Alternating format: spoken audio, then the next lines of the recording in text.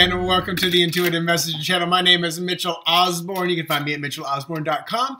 I'm a tarot card reader, psychic, medium, animal communicator, or pet psychic, and I do mindfulness transformation coaching. Today I'm doing the weekly spread so this is a channeled message from my guide team, from Source from Spirit, as well as a tarot energy forecast from February 1st to the 7th. So as I shuffle, first, the message from Spirit is kind of an interesting one. There's like, they said, do not let other people prescribe your journey, your path. And then as I, you know, it's the first thing that pops in my mind. Then as I unfold it, um, I'm seeing like you, like me, us having conversations with other people, and the words coming out of their mouth we find ourselves nodding our heads with, agreeing with, and a lot of time, if we really stop and think, we don't agree with what they say. It's just out of habit. And some people, like me, often say, Oh, yeah, I understand, mm-hmm, because I don't want to make them feel uncomfortable.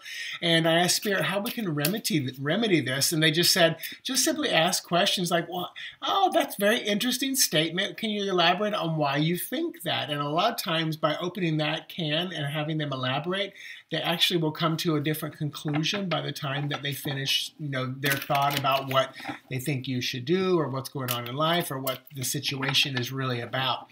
So ask some questions with love, with kindness, you know, trying to see a different perspective because it's going to help you as well.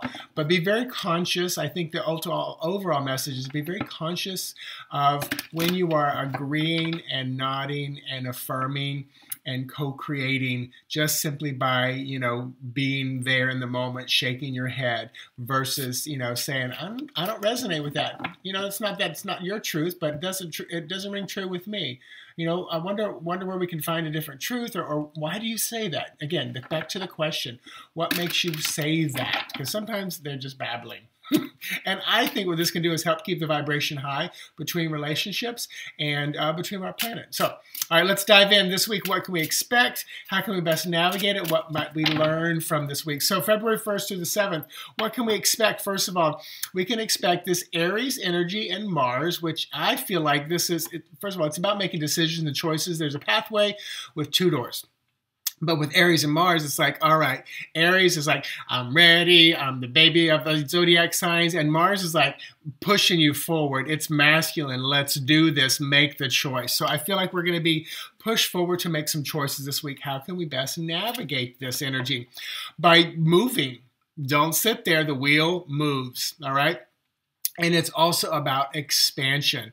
And this could be expansion of your knowledge, expansion of you spiritually. So navigate it by expanding your ideas, your thought.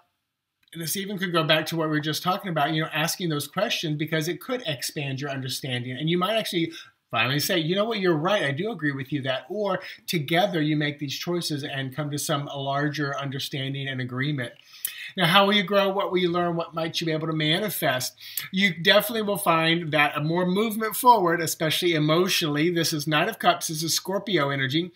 Um, and I love that there's a little bit of Libra right up there. So there'll definitely be some balancing as well as we move with that Scorpio energy.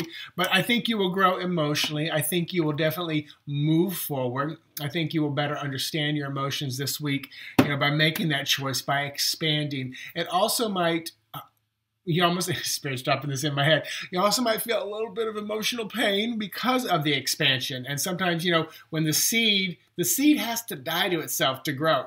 It cracks open and then the plant grows.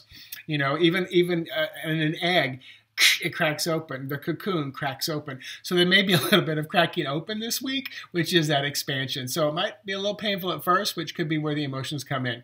Um, but just know that you, grow. You grow. So it's a good thing.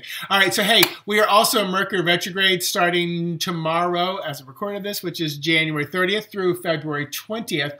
So, I did do a collective Mercury retrograde spread. Check that out if you want to get your own to find out how you can best navigate this energetic time. Um, yeah, check that out. All right. Namaste. Thanks for sharing, subscribing, and reposting. Bye bye.